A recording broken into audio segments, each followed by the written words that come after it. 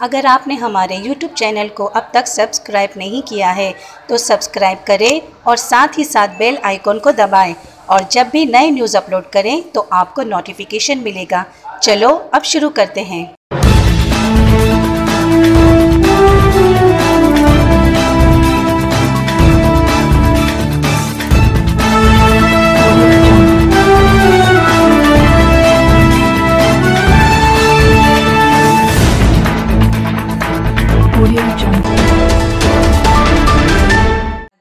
News seven में आपका स्वागत है। मैं हूँ फातिमा शेख। आइए नज़र डालते आज की कुछ खास खबरों पर।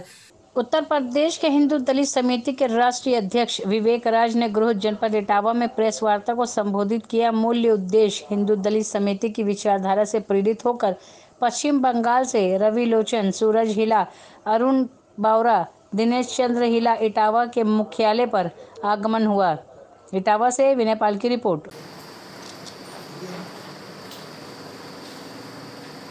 धारा से प्रभावित होकर हमारे पश्चिम बंगाल, कोलकाता, आसनसोल वर्धमान नदिया डिस्ट्रिक्ट आदि से हमारे भाई यहाँ मौजूद हैं, जो पश्चिम बंगाल का नेतृत्व करेंगे। वहाँ के प्रदेश अध्यक्ष होंगे श्री सूरज हेला जी। वहाँ से प्रदेश महामंत्री होंगे एवं प्रवक्ता होंगे पश्चिम बंगाल से रवि लोचन पांडे जी। साथ ही साथ हमारे प्रदेश उपाध्यक्ष होंगे दिनेश हेला जी।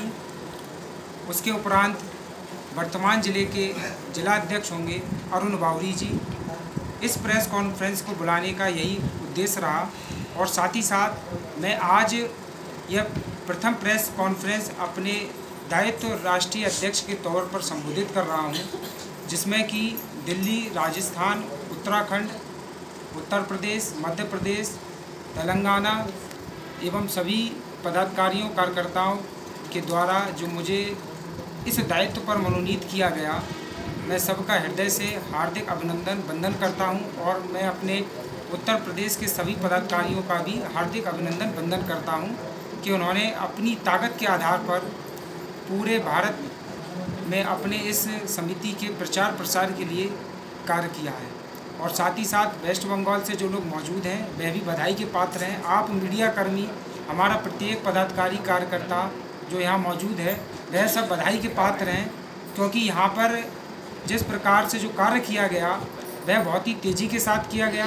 दिव्यांगों के द्वारा जो टीम कार्यकारिणियों का कार्य किया जा रहा है, दिव्यांगों की सक्रियता को देख के देखते हुए हमारे जो महिला जिलाध्यक्ष सीमा मिश्रा जी एवं पुरुष जिलाध्यक्ष मनीष कुमार जी, शेखर जैन जी नगर अध्यक्ष, पुराना शहर नगर अध्यक्ष रजत सविता जी हमारे जो नारायण संस्थान के जो अध्यक्ष हैं जीपू साक्य जी पवन जी और हमारी रुखसाना जी मैं क्या नाम है आपका? सूरज सूरज स्टार्ट करो। तो सूरज जिला जी बताइए जी आपको ये दायित्व सौंपा गया है। इस किन मकसद से सौंपा गया क्या निष्ठापूर्वक है आपका? सबसे पहले आप सभी को नमस्कार। पूरे पश्चिम बंगाल के तरफ़ से पूरे इटावा के लोगों को नमस्कार।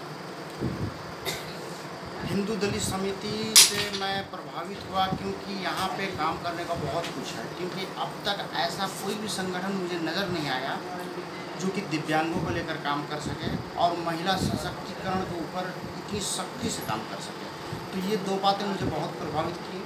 इसके पहले भी मैं फ़िलहाल के लिए इंडिया न्यूज़ सेवन में इतना ही। और भी ताज़ा खबरें जानने के लिए जुड़े रहिए हमारे साथ। नमस्कार।